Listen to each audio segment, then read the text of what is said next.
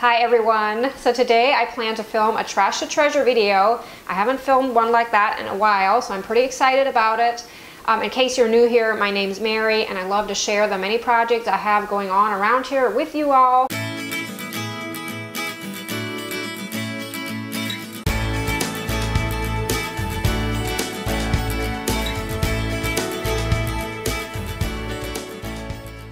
The items that I'll be working on today are actually trash. Like often when I film a trash to treasure video, there's items that I picked up maybe in thrift stores or garage sales, not necessarily, you know, deemed as trash, but today I can literally say I'm dealing with trash because these items were given to me by people that were literally going to throw them out so I rescued them and I'm kind of excited to give them a new life, you could say. The first item I have here is this large wrought iron wall decoration. Um, it's pretty in itself, like it would look nice above a doorway maybe or hanging above a large sign, uh, but it's fairly large and what I have in mind to do with it is take it apart and use it for something else. At this point, I'm not sure will it even turn out, but I'm going to give it a shot. Next up here is an old clock that doesn't work anymore. This was given to me by a friend that she actually redid the outside part. Like this used to be dark, like a dark brown. I know that because I used to have a clock exactly like this, but she did a wonderful job in doing like a paint and glaze method.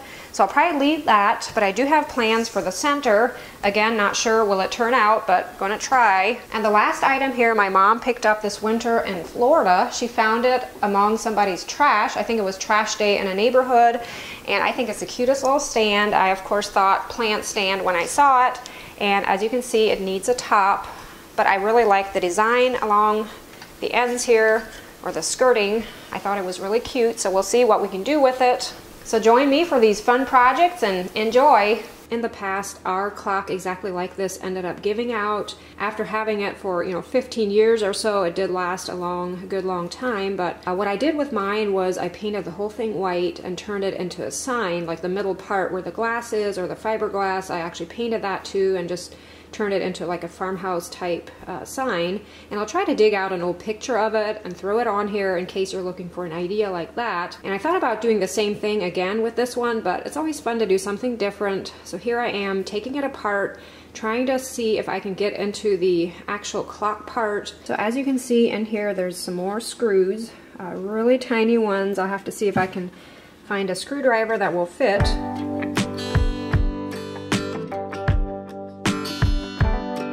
So this clock is proving to be a challenge to take apart. I thought I could just snap this outer rim off, but it's not working.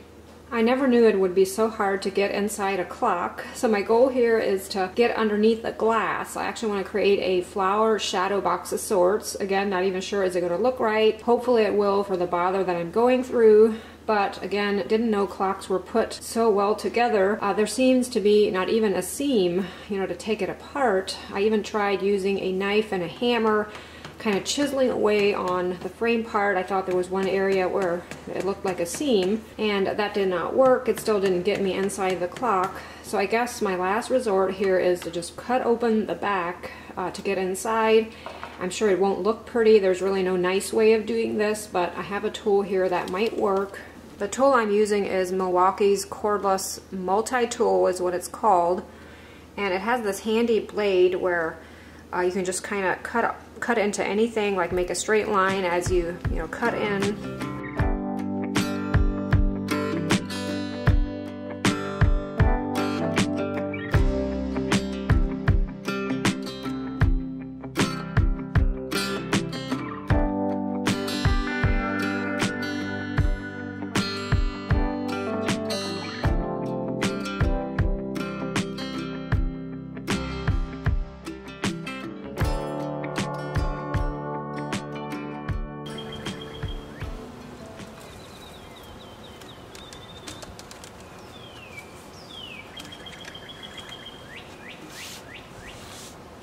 I wanted to paint the inside part of this possible shadow box, so here I'm just using a gift wrap, cutting out a circle to protect my glass from getting paint on it, uh, taping it into place.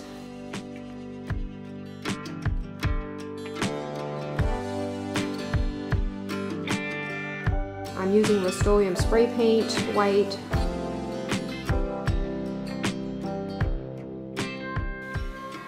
This room is possibly one of the most drab and dirty places in our house. I'm almost embarrassed to show you, but this is what we call the furnace room. It's where our furnace is, and then also the guys have like a hunting corner back here. And Pebbles actually often is down here. She loves sleeping on her cushion on top of a piece of furniture. Uh, you might see her in the background. But this is a good place to dry flowers. And my niece Emily got married in March and I tried to dry some of her pretty pink roses that she had sitting on the tables. Again, this is a dry room with the furnace in here and it's usually dark. So it's that's always a good place to dry flowers. I also have some eucalyptus here. Uh, that looks pretty good.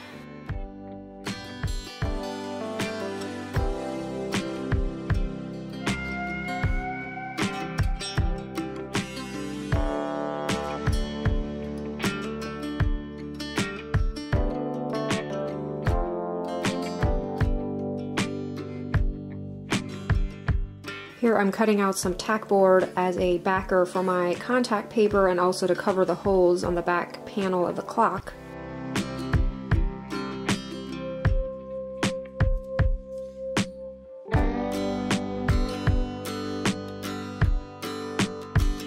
I got this pretty contact paper that looks like wood from Amazon and I'll link it down below in the description box if I can find it. Decided to use another one of these fun transfers that one of you guys sent me. I thought it would be really fitting to go with these dried flowers and I have a link down below in the description box of an Etsy shop that carries a lot of these transfers. Here I'm just gluing the flowers in place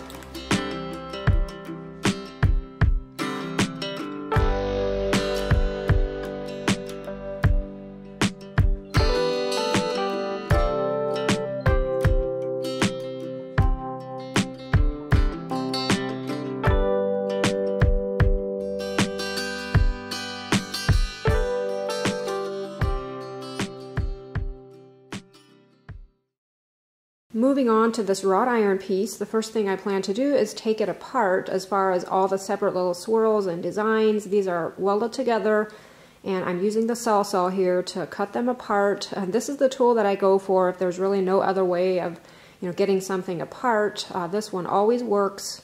It's a bit rough or hard to handle at times, but it definitely does the job.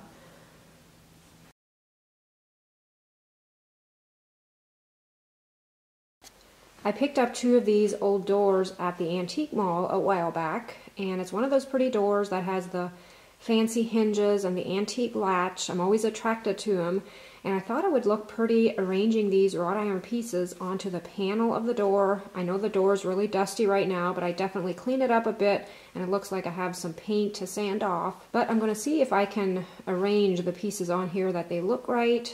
I think this would make a nice piece to hang on the wall or just even set against the wall somewhere. It's large enough that you might not even have to hang it up. But I always like to see the wrought iron and the wood together. As I'm sanding these paint spots, I of course am sanding down to the bare wood and this will make my door a little spotty. But I think I'll be able to touch it up with stain, hopefully, because I really don't want to sand the whole door. I'm going to go ahead and paint these wrought iron pieces and the paint I have on hand is this chalkboard paint. Um, it's just a nice flat or matte black paint.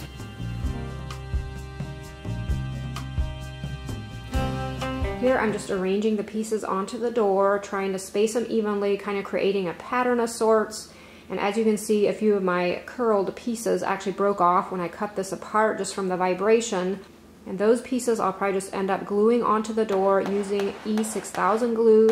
And I thought about doing this for all of the pieces, but some of them aren't lying like nice and flush to the door, so I don't think that would really hold it in place. And I'll be better off using these, I guess I'll call them like plastic staples of sorts. I got them at Menards. They were in the electrical section. I'll try to flash a picture of them on the screen here.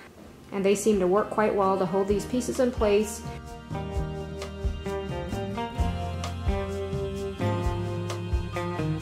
I'm also planning on painting the hardware. I think it'll look better.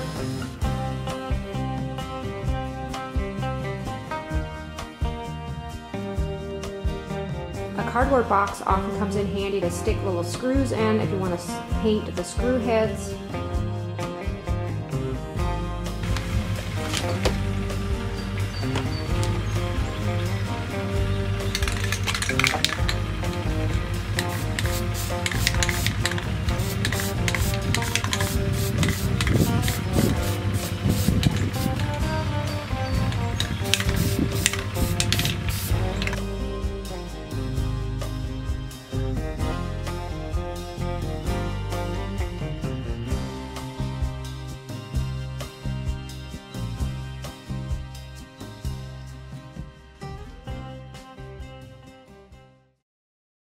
So the last item I'm going to work on in this video is this little plant stand and initially when I saw it I thought I just put a top in here since it probably broke out. I don't know was it glass at one point but thought I'd put a pretty wood in here. Wouldn't even really have to paint it. Then I turned it around to get my measurements for my top and I started seeing something else with it. I imagined it would make such a cute little plant house or a terrarium so I actually ended up ordering glass for the sides. I just got some glass cut to fit into these sides here at Walnut Creek Glass in case you're local here. And I'm pretty sure I can use picture frames for my roof here. I still need to run to Dollar General probably to look for some frames, but for now I'm gonna put the glass in, probably putting little wood strips or something behind the glass to you know hold it in place. This will make sense as I zoom in here. I know it's kind of crazy. It definitely would make a cute plant stand too, but I just thought with this character along the bottom here, I envisioned these little green plants in here. I thought it would be so cute. So let's see what we can do. Once again, I was so impressed with Walnut Creek Glass. I was able to order these in the morning and pick them up in the afternoon. And I only paid around $7 per piece. I found some old frames in storage that weren't in use. And here I'm just removing those little screw things from the back. And I plan to use these to hold my glass in place.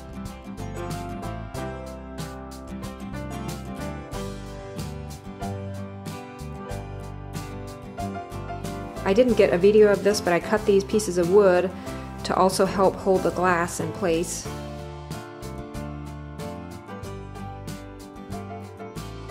I did manage to find some frames at Dollar General, took the insides out, and here I'm painting them.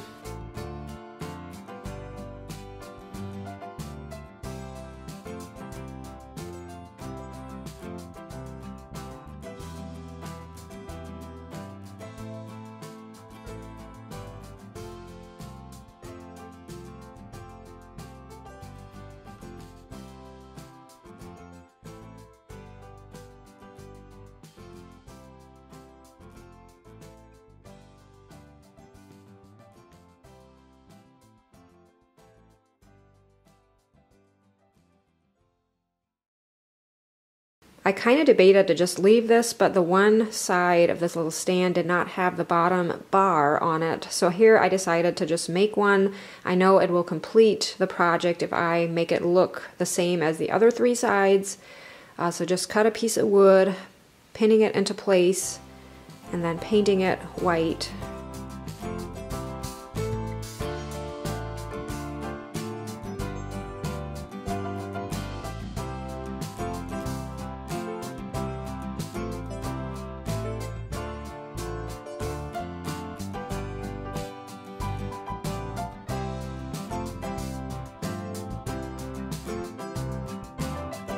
I cut this piece of plywood to fit into the bottom. Here I'm staining it using an aged oak gel stain.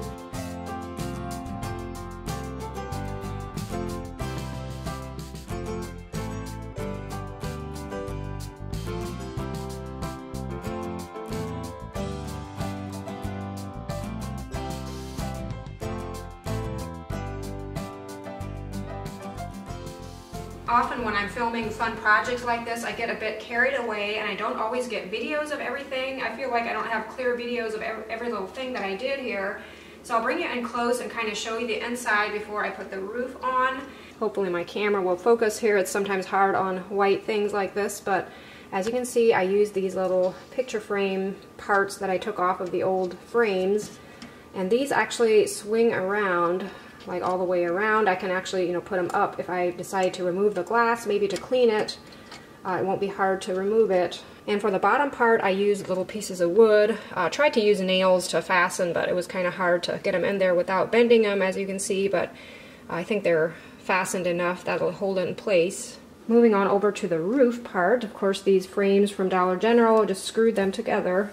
Um, I used these little parts. They came in a picture hanging kit like this. As you can see, random little parts. And here's the part that I used. I just clipped it off around here, and then I bent this part open further, making it look like this. And these seem to work well to hold the roof in place.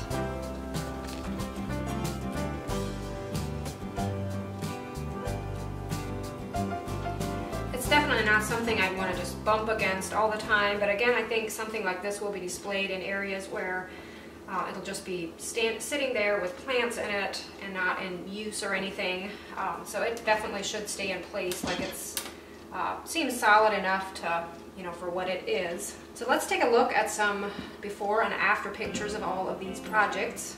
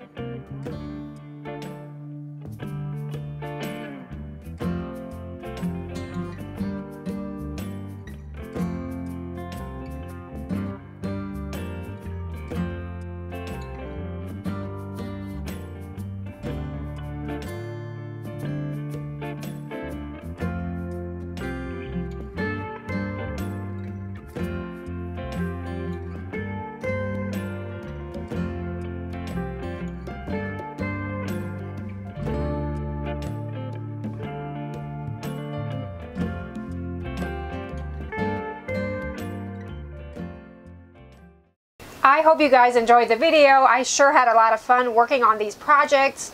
Pretty sure this little house is going to stay right here. I think it looks so good in here. Hopefully I gave you guys some ideas to maybe turn some sad looking items into something beautiful again. It's definitely so much fun and anyone can do it. I do want to mention before ending here, we always try to restock our soap in the middle of the month. So that is going on right now. We have a few new scents available and uh, we've been busy making soap. My cousin Susie is helping me. She does an amazing job with it. All of the soap is made using natural ingredients and then we use some clean fragrance oils for some of the scents and I always try to specify that in the listing in case you're looking for some that are completely natural using essential oils. So make sure to check that out if you haven't already. I'm pretty sure you won't be disappointed.